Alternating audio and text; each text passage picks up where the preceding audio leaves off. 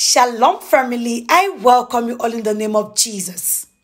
If this is your first time seeing me or coming across my channel, this is the word and declarations with Linette. Thank you so much for taking a pause to listen to this prophetic word. I pray it bless you in Jesus' mighty name. Please kindly like, share, and subscribe so you become part of this awesome family. As for those returning as family, thank you so much. God bless you. I love you and I will keep praying and interceding for you all in the name of Jesus. Father, we thank you for today. Lord, we give you praise. Lord, we glorify your name for there is no one like you. Father, you said in your word that at the mention of the name Jesus, every knee must bow. I pray for everyone that is connected to this prophetic word, every challenge, every stronghold, every situation that is causing them pain. I pray it bows down to the word of your to your word in the name of Jesus. Amen.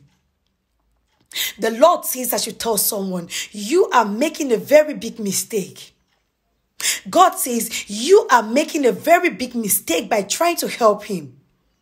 The Bible says, by strength shall no man prevail.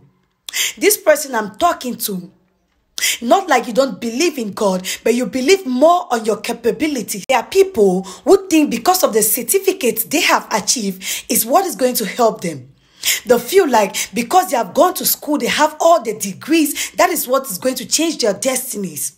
There are other people that rely on their beauty. There are other people that rely on their handsomeness. You feel like because you're beautiful, you have an advantage. You feel like because you're handsome, you must make it in life. There are other people that depends on their connection. But the Bible says, curse be upon any man who puts his trust in another man.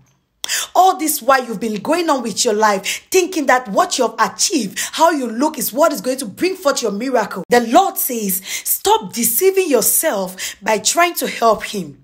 Surrender all to Him and depend on God totally.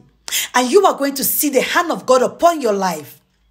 The Bible says, The arm of flesh shall fail.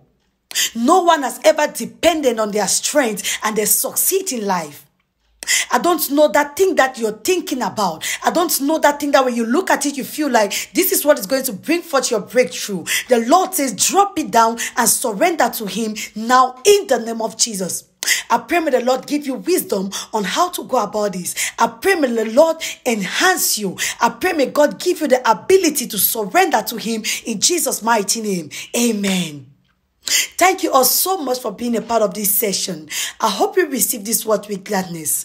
Please do not forget to turn on your notification bell so whenever uploading your content, you will be the first to know. I love you all so much, family. I'll see you in our next session. God bless you. Shalom.